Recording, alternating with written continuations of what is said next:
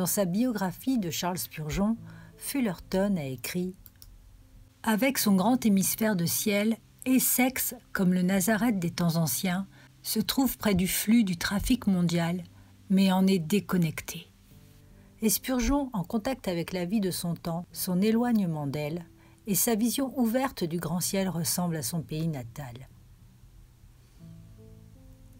L'Essex est l'endroit où commence l'histoire de Charles Spurgeon, ici dans la petite ville de Kelvedon. Dans la maison derrière moi, John et Elisa Spurgeon ont accueilli leur premier enfant, Charles, le 19 juin 1834. Il était le premier de 17 enfants, bien que seulement 8 d'entre eux aient survécu à l'enfance. Les premières années de la vie de Spurgeon à Kelvedon ont été courtes. Dix mois après sa naissance, sa famille a déménagé à Colchester et quatre mois plus tard, le bébé de 16 mois est allé vivre avec ses grands-parents, James et Sarah à Stambourne. Pourquoi John et Elisa enverraient-ils leur petit enfant vivre avec leurs grands-parents? La vérité est que nous ne savons pas, mais une chose que nous pouvons dire avec certitude est que même si cela nous semble étrange, c'était exactement ce que Dieu avait prévu pour Spurgeon. Car c'est ici que Dieu commencerait à attirer Charles vers lui frère Spurgeon, James, a été pasteur à la maison de réunion de Stambourne. C'était une grande congrégation depuis 1810. La salle de réunion a été l'une des dernières pièces du puritanisme, une orientation du christianisme dont la doctrine est connue pour exalter le Christ et un engagement intense envers la sainteté personnelle. Frère Spurgeon avait une solide connaissance des Écritures et des écrits des puritains. En fait, un de ses auditeurs a dit un jour Je pourrais voler comme un aigle après avoir été nourri avec un tel repas céleste. Il ne pouvait y avoir aucun doute. Le Seigneur savait exactement ce qu'il faisait en y envoyant le jeune Charles. Anne, la plus jeune fille de 17 ans de James et Sarah, était ravie d'avoir Charles à la maison. Il devint rapidement l'objet de son amour et de ses soins. À bien des égards, elle était une deuxième mère pour lui prendre soin de lui comme il le ferait avec son propre fils et lui apprendre à ramper, marcher et parler. Elle était aussi une chrétienne passionnée et cherchait à promouvoir son bien-être spirituel à travers sa vie et son exemple quotidien.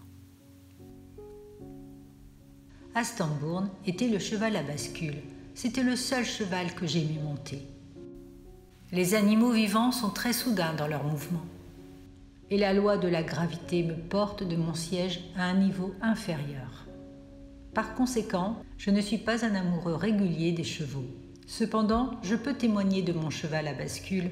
C'était un cheval sur lequel même un député aurait pu s'asseoir. En 1866, le gouvernement avait établi une taxe pour chaque fenêtre d'une maison, et cela a conduit à de nombreuses fenêtres couvertes de briques. Pour Charles, cela augmentait l'intrigue de vouloir monter à l'étage. Il n'avait aucune idée des aventures qui l'attendaient lorsqu'il ouvrit la porte d'une pièce sombre. Il y avait là un trésor caché. Une grande bibliothèque pastorale était devant lui. Et presque immédiatement, il a trouvé un livre. Ce serait très important pour lui, jusqu'à la fin de ses jours. Un livre qu'il lirait plus d'une centaine de fois. Le voyage du pèlerin de John Bunyan. Dans cette petite pièce, j'ai rencontré de nombreux auteurs quand j'étais encore un jeune homme. Et je n'ai jamais été aussi heureux que lorsque je faisais ces travaux. Charles passait des heures dans cette pièce, dévorant les œuvres des saints des temps anciens, dont beaucoup étaient les grands puritains. La lecture était une source de grande joie pour Charles, mais il ne passait pas tout son temps avec des livres. Tante Anne se souvient d'une conversation familiale au sujet d'un membre de l'Église, et cela causait à son grand-père une grande angoisse. Quand j'avais 16 ans à l'école, nous devions écrire. Je ne sais pas trop comment ça s'appelle, une étude sur quelqu'un dans l'histoire, donc j'ai décidé d'écrire sur mon arrière-grand-père. C'est alors que j'ai commencé à enquêter sur les histoires à son sujet dans les livres. Ceci est l'une des histoires que j'ai lues. Il s'agit d'un homme du nom de Rhodes qui a beaucoup bu et a causé une grande anxiété aux éleveurs. Alors il a dit Nous allons tuer cet homme. Et j'ai pensé C'est un peu fort. Alors il est allé au bar et quand il est revenu a dit Je l'ai déjà tué. Il se demandait ce qu'il avait fait à M. Rhodes. Rhodes est revenu et s'est excusé pour avoir bu et parce qu'il ne suivait pas correctement le Seigneur. Il était apparemment assis au bar, buvait une bière et fumait quand le garçon Charles est arrivé et a dit Que fais-tu ici, Élie, assis avec les méchants Et vous, un membre de l'Église, brisez le cœur de votre pasteur. J'ai honte de toi, je ne briserai pas le cœur de mon pasteur. Furieux du comportement de Charles, Rhodes se dirigea vers le manoir. Cependant, en cours de route, sa colère a commencé à diminuer et il a commencé à réfléchir sérieusement à ses actions. Quand il est arrivé à la maison Spurgeon, il est allé avec un cœur repentant. Les différends ont été résolus et une bonne relation a été rétablie. Spurgeon aimait son séjour à Stambourne et surtout son grand-père. Je me souviens que lorsque j'ai quitté mon grand-père, avec qui j'avais été élevé depuis que j'étais un petit enfant, j'étais vraiment désolée de m'être séparée de lui. Ce fut la grande douleur de ma petite vie. Papy avait aussi l'air désolé et nous avons pleuré ensemble. Il ne savait pas quoi me dire, mais il m'a dit Maintenant, petit, ce soir, quand la lune brille et que vous la regardez, n'oubliez pas que c'est la même lune que votre grand-père regardera. Et pendant des années, enfant, j'aimais la lune, parce que je pensais que les yeux de mon grand-père et les miens en quelque sorte, ils étaient là, sur la lune.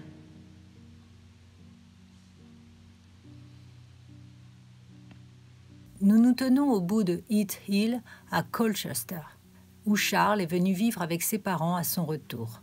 C'était la première fois qu'il était parmi ses frères et sœurs, et comme le frère aîné, il était le leader naturel déjà dans ces jeux ou la prédication d'une chair de paille. Mais Charles n'imaginait pas qu'il ne faudrait pas longtemps avant qu'il prêche l'évangile d'une vraie chair à des dizaines de milliers de personnes.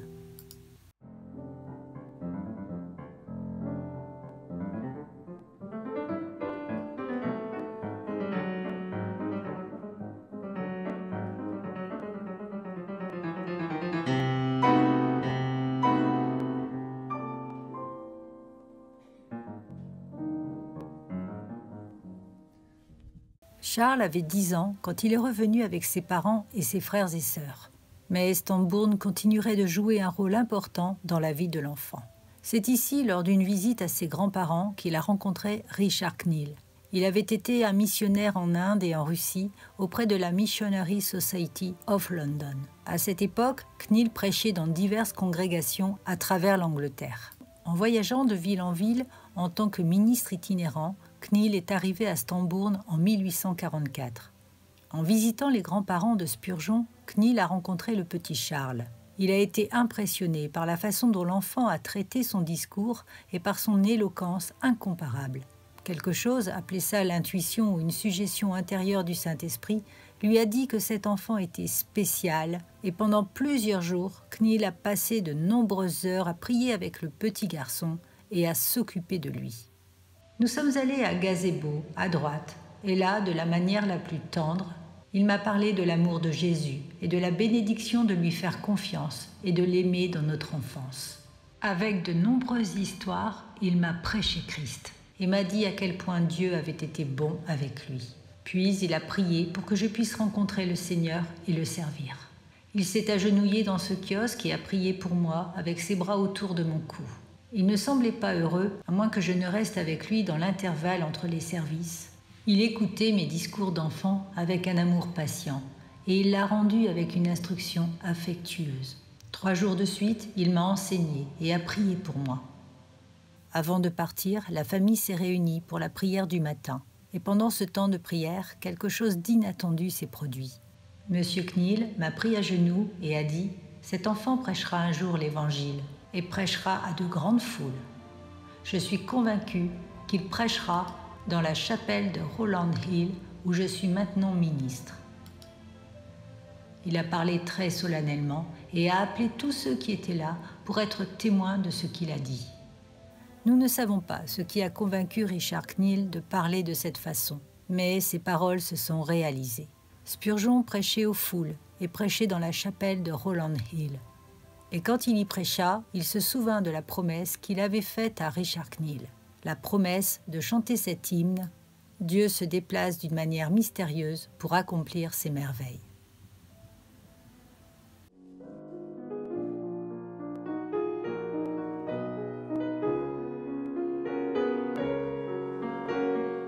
Il était clair dès les premières années de Charles qu'il était un enfant exceptionnellement brillant. Il préférait les activités académiques au sport, principalement parce que, comme il l'a admis, il pouvait mieux gérer un livre qu'une balle ou une batte. À 14 ans, Charles a été envoyé à l'université de Saint-Augustine à Maidstone. Avant de partir pour la Newmarket Academy, Spurgeon considérerait son temps là-bas comme l'une des années les plus importantes de sa vie. Parmi les gens que je rencontrais à l'université, il y avait un pasteur. Un homme bon, comme l'appelait Spurgeon. Il le convaincrait de la nécessité du baptême des croyants. Spurgeon, a-t-il dit, vous n'avez jamais été correctement baptisé. Aussi, monsieur, je l'ai été. Mon grand-père m'a baptisé dans une petite pièce. Et c'est un ministre, donc je sais qu'il a bien fait. Mais vous n'aviez ni foi ni repentance, et par conséquent vous n'auriez pas dû recevoir le baptême. Pourquoi, monsieur? Cela n'a rien à voir. Tous les enfants doivent être baptisés. Comment tu sais cela? Le livre de prière commune ne dit-il pas que la foi et le repentir sont nécessaires avant le baptême? Il s'agit d'une doctrine de l'Écriture, et personne ne peut la nier. Maintenant, Charles, je vais vous donner jusqu'à la semaine prochaine pour découvrir si la Bible affirme que la foi et le repentir sont des conditions nécessaires avant le baptême. Spurgeon se sentait confiant de sa victoire à ce moment-là, mais en fouillant sa mémoire et sa Bible, il s'est rendu compte qu'il avait été vaincu.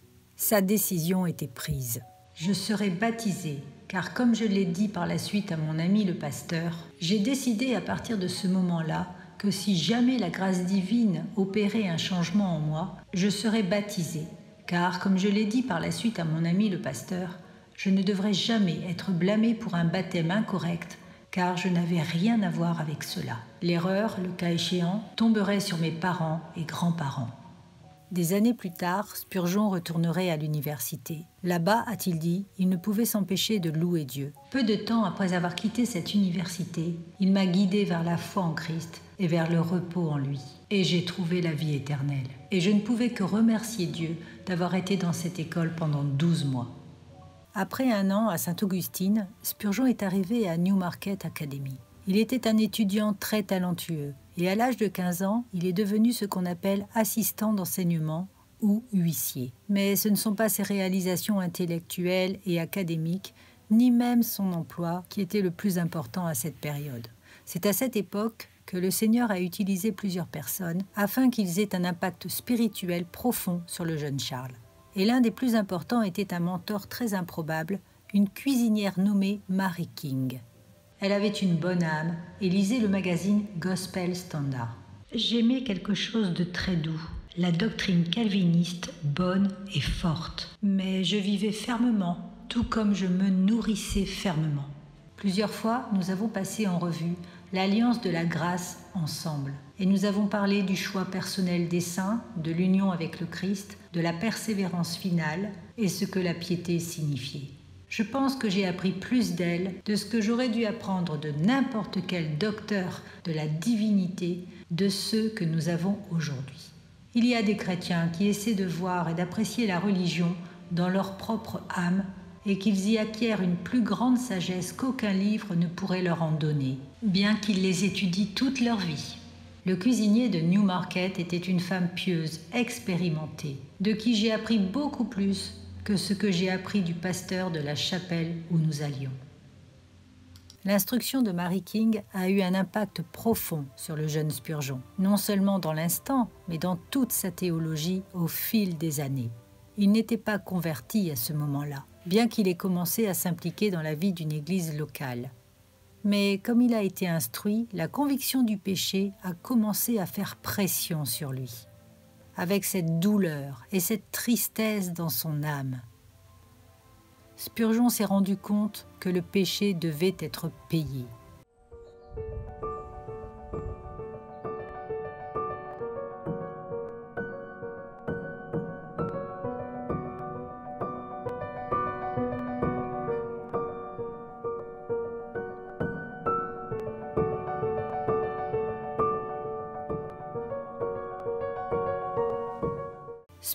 Était le fils d'un prédicateur et le petit-fils d'un prédicateur, ce que beaucoup appellent le fils du pasteur. Il a grandi avec la bonne nouvelle autour de lui, entouré de la doctrine des puritains, et toujours dans son cœur, l'Évangile lui échappait encore. J'avais entendu parler du plan du salut par le sacrifice de Jésus depuis ma jeunesse, mais je n'en savais pas plus au fond de mon âme. Comme s'il était né et avait grandi comme hôtelier. La lumière était là, mais j'étais aveugle. C'était une nécessité que le Seigneur lui-même clarifie cette question pour moi. Le Seigneur, dans sa miséricorde, a clarifié cette question à Spurgeon, pas à travers un grand événement, mais à travers un simple sermon. Charles est entré dans ce bâtiment en tant que garçon affligé, mais il est sorti comme un nouvel homme en Christ. Et tout cela est par la grâce. Un homme très mince est monté dans la chair et a ouvert sa Bible et a lu ces mots Regarde vers moi et sauve tous les hommes de la terre. Posant ses yeux sur moi, comme s'il me connaissait complètement, il a dit Garçon, tu as des ennuis. Eh bien, en effet. Puis il a dit, vous n'en sortirez jamais à moins de regarder à Christ. Puis il a levé la main et a crié, comme seul un méthodiste primitif pouvait le faire. Regardez, regardez, regardez. Il vous suffit de regarder, dit-il. J'ai tout de suite vu le chemin du salut. Oh, comme j'ai sauté de joie en ce moment. Ce jour-là, Spurgeon est rentré chez lui et ses parents ont immédiatement vu la différence en lui. Son visage avait changé. Il avait un sourire, un air gai, heureux et heureux. Il n'était plus le garçon mélancolique, mais brillant et vif. Cette même nuit, le nouveau-né Charles a assisté à l'église baptiste Eld Lane avec sa mère, adorant ensemble comme mère et fils, mais aussi comme frères en Christ pour la première fois. Plus tard, il sera baptisé à Hishlem Ferry sur la rivière Alouette. Quand je m'en souviens, je peux voir une raison pour laquelle la parole m'a béni tout en l'écoutant être prêché dans cette chapelle méthodiste primitive à Colchester. J'avais pleuré plusieurs fois à Dieu pour ma bénédiction. Quand j'étais jeune, quand je cherchais le Sauveur, je me réveillais avec le soleil. J'avais le temps de lire des livres pleins de grâce et de chercher le Seigneur. Je me souviens du genre de supplication et que j'ai utilisé lorsque j'ai été justifié et que je suis allé devant le trône de la grâce. Seigneur, sauve-moi. Ta grâce serait glorifiée en sauvant le pécheur que je suis. Seigneur, sauve-moi, car je serai perdu pour l'éternité. Ne me laisse pas périr. Seigneur, sauve-moi. Ô Seigneur, car Jésus est mort. Pour son agonie et sa sueur de sang pour sa croix et sa passion. Sauve-moi. J'ai souvent trouvé que le matin était la meilleure partie de la journée. J'ai aimé ces prières dans lesquelles le psalmiste dit ⁇ Le matin, ma prière apparaîtra devant toi ⁇